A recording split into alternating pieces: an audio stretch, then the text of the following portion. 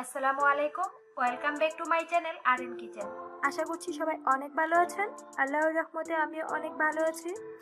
আজকে আমি খেজুরের গুড় এবং ময়দা দিয়ে অনেক মজার একটি বিস্কিট রেসিপি শেয়ার করব। আশা করছি আমার আজকের রেসিপিটি আপনাদের সবার কাছে অনেক ভালো লাগবে। এই রেসিপিটি তৈরি করতে খুব বেশি উপকরণ লাগে না। খুব অল্প উপকরণ দিয়ে এই মজাদার রেসিপিটি তৈরি করা যায়। আশা করছি সবার কাছে আমার আজকের এই রেসিপিটি অনেক ভালো লাগবে। তাহলে চলুন দেখিনি এই রেসিপিটি তৈরি করতে কি কি ইনগ্রিডিয়েন্টস লাগছে। প্রথমে এখানে আমি দু কাপ পরিমাণ ময়দা নিয়েছি, এক কাপ পরিমাণ খেজুরের গুড় নিয়েছি, পরিমাণ মতো লবণ, হাফ চা চামচ নিয়েছি বেকিং পাউডার। এবার আমি হাফ চা চামচ বেকিং পাউডার ময়দার সাথে মিশিয়ে নিচ্ছি। চামচ দিয়ে খুব ভালোভাবে বেকিং পাউডারটা ময়দার সাথে মিশিয়ে নিতে হবে।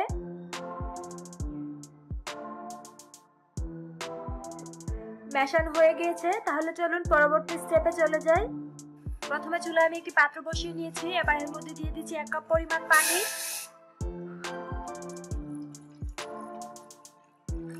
এবার আমি পানির মধ্যে দিয়ে দিচ্ছি এক পরিমাণ খেজুরের গুড়। এবার গুড়টাকে পানির সাথে খুব ভালোভাবে নেড়ে চেড়ে মিশিয়ে নিতে হবে।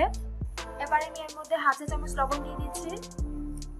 এবার আমি এর মধ্যে অল্প অল্প ময়দা অ্যাড করে একটি পারফেক্ট ডু তৈরি করে নেব।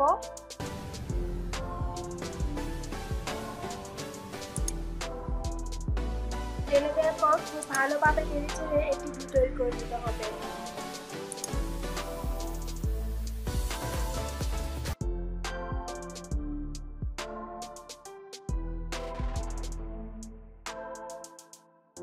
দুটা নেড়েছে যখন এরকম ফর্মে চলে আসবে, তখন দুটাকে নামিয়ে একটি মেশিন বলে নিয়ে নিচ্ছি। তারপর খুব ভালোভাবে ময়ান করে একটি পারফেক্ট ডু তৈরি করে নিচ্ছি। ডুটা তৈরি করা হয়ে গিয়েছে। এবার আমি এখান থেকে অল্প একটু ডু নিয়ে নিচ্ছি। আর দু হাতে তালুতে রেখে এভাবে খুব ভালোভাবে একটু ময়ান করে নিতে হবে। ময়ান করে নিয়ে একটু লম্বাটে শিপ দিয়ে নিতে হবে। তারপর হাত দিয়ে এভাবে একটু চেপে চেপে দিতে হবে।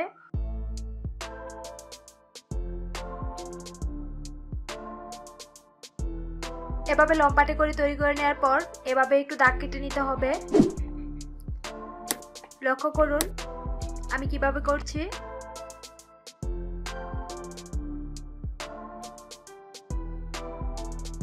দেখুন, দেখতে কতটা সুন্দর হয়েছে। আর আমি সেম ভাবে সবগুলো পিঠা এভাবে তৈরি করে নিচ্ছি। লক্ষ্য করুন বিওয়ার সবগুলো বিস্কিট পিঠা তৈরি করা হয়ে গিয়েছে। দেখুন, দেখতে কতটা সুন্দর হয়েছে। তাহলে চলুন এবার এগুলোকে ভাজার জন্য চুলায় চলে যাই। বিস্কিটগুলোকে ভাজার জন্য চুলায় পর্যাপ্ত পরিমাণে তেল দিয়ে একটি প্যান বসিয়ে নিয়েছি। তেলটা গরম হয়ে গিয়েছে, এবার আমি এক এক করে বিস্কিটগুলোকে তেলের মধ্যে দিয়ে দিচ্ছি। পিঠাগুলোকে দিয়ে দেওয়ার কিছুক্ষণ পর আস্তে আস্তে এগুলিকে উল্টিয়ে দিতে হবে। তা না হলে কিন্তু এক পাশে খুব বেশি কালার চলে আসবে।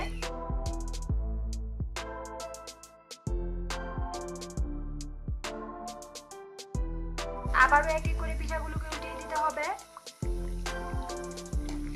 এভাবে উল্টে পাল্টে কাঁচিতে একটা কালার আসা পর্যন্ত পিঠাগুলোকে ভালো করে বেজে নিতে হবে?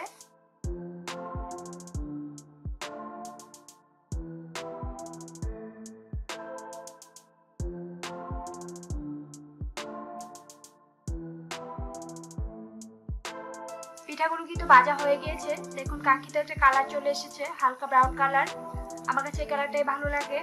এবার পিঠাগুলোকে তেল জড়িয়ে উঠিয়ে নিচ্ছি একটা কিচেন টিস্যু পেপারের উপর যাতে টিস্যু পেপার এক্সট্রা তেলটা অ্যাবজর্ব করে নেয়।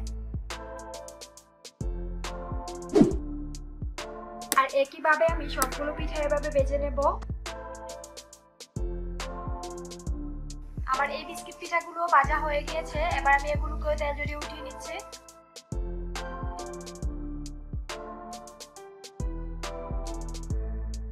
সবগুলো বিস্কিট পিঠা আমার তৈরি করা হয়ে গিয়েছে। দেখুন, দেখতে কতটা সুন্দর হয়েছে।